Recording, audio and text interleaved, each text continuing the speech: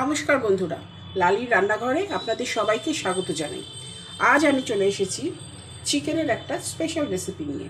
এটা আপনাদের গরম গরম ভাত, গরম রুটি, পরোটা সব কিছুর সঙ্গে খুব ভালো লাগবে এবং অবশ্যই কিন্তু এটা ট্রাই করা চাই এখানে আমি চিকেন এক কেজি নিয়েছি, একটু বড় পিস করে নিয়েছি, কারণ আমি এটা প্রেশার কুকারে করব।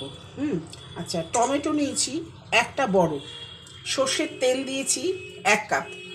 এর মধ্যে আমি দেব দুটো রসুন, এখানে আমার খোলা ছাড়ানো আছে। আমি এটা গ্রেট করে নেব পিষে নেব মিক্সিতে। আর মিক্সিতে এখানে দুটো ছোট পেঁয়াজ নিয়েছি, এক ইঞ্চি আদা, ছটা কাঁচা লঙ্কা। এটাও আমি মিক্স করে নেব, দিয়ে এইটার সঙ্গে মেশাবো।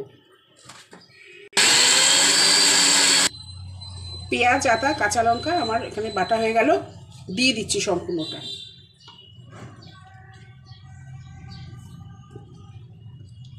এবার আমি এর মধ্যে খোলা ছাড়ানো রসুনটা নিয়ে নিলাম।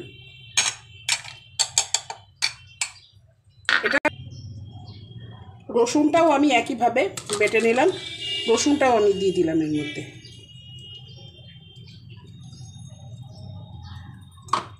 এবার দিয়ে দিচ্ছি আমি হলুদ পরিমাণ মতো। এক বড় চামচের এক চামচ হলুদ দিলাম। শুকনো লঙ্কা গুঁড়ো দিচ্ছি। আমরা একটু ঝালটা বেশি খাই। তো আমি বড় চামচের দেড় চামচ লঙ্কা দিলাম। নুন দিচ্ছি। এখন দিলাম এক চামচ। পরে ওটা দেখে নেব। এবার আমি চিকেনটা মেখে নিচ্ছি এবং সেটা ম্যারিনেট করার জন্য আমি প্রায় দু ঘণ্টা রেখে দেবো। সেটা আপনারা ফ্রিজেও রাখতে পারেন অথবা এখন তো ঠান্ডার দিন, বাইরেও রাখতে পারেন। আমি পরে আবার আসছি।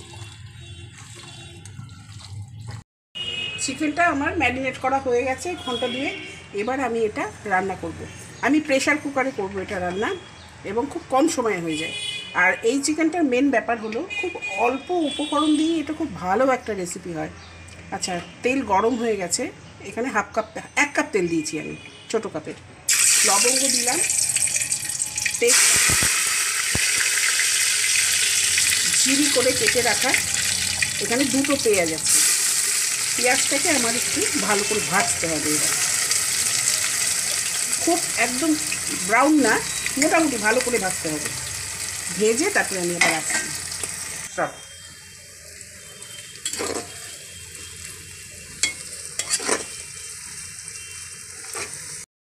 পেঁয়াজটা আমার ভাজা হয়ে গেছে। এবার আমি তেলের মধ্যে ম্যারিনেট করা চিকেনটা দিয়ে কষতে থাকব।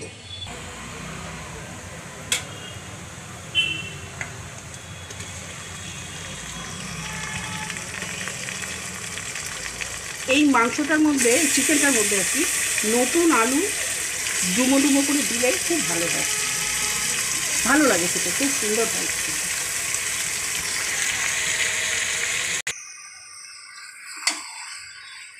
এটা কষতে হবে একদম তেল না বেরিয়ে আসা পর্যন্ত। তারপরে আমি দেখাচ্ছি।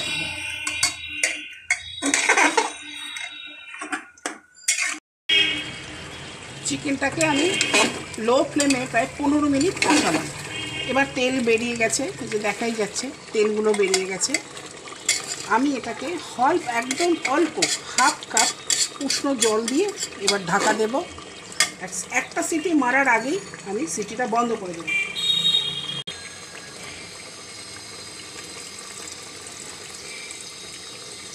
ব্যাস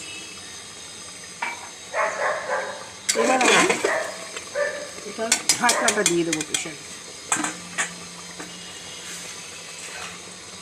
এটা আপনারা কড়াইতে করতে পারেন।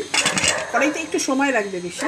আর প্রেশারে কি, আপনি মাখলেন ম্যারিনেট করতে যেটুকু সময় তারপরেই একটা হালকা সিটিতেই এটা হয়ে যায় আমার প্রেশারে রান্নাটা হয়ে গেছে, আমি এবার ঢাকনাটা খুলছি।